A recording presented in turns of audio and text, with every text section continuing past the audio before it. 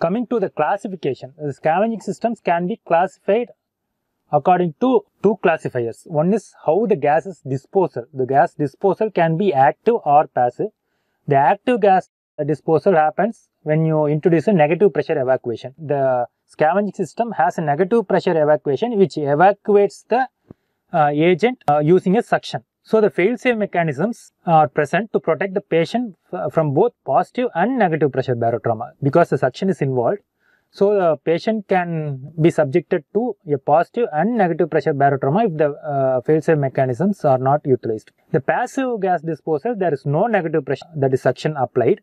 So the fail-safe mechanisms available to protect against positive pressure barotrauma alone because there is no suction.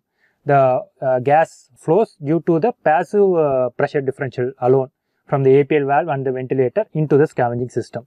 So that itself will push the gases out into the out of the operating room. So the scavenging system can also be classified according to the interface, whether it's open interface or a closed interface. Open interface are open to the atmosphere.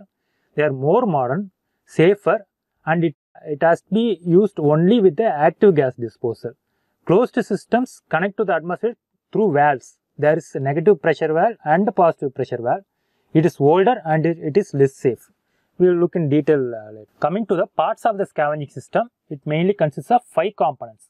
First is the gas collection assembly. The gas collection assembly gets the outlet from the APL valve and the ventilator relief valve. This I already told in the uh, black box diagram. This is where the gases comes into the scavenging system. It transfers the gases to the scavenging interface through a transfer tubing. It can be 19 mm or 30 mm tubing. These are standard sizes through which gases from the APL valve and the ventilator relief valve goes into the scavenging interface. As I already told, scavenging interface can be open or closed. I will describe them in detail in the later slides. So, as we already looked into it, the interface can be open or closed. And from the interface, the scavenged gases takes the gas tubing, disposal assembly tubing into the assembly, gas disposal disposal assembly. So the gas disposal assembly can be active or passive systems. Active systems have a vacuum through which gases are sucked out. So this sucks the gas out, the scavenged gases out into the atmosphere. The passive system uses the pressure differential between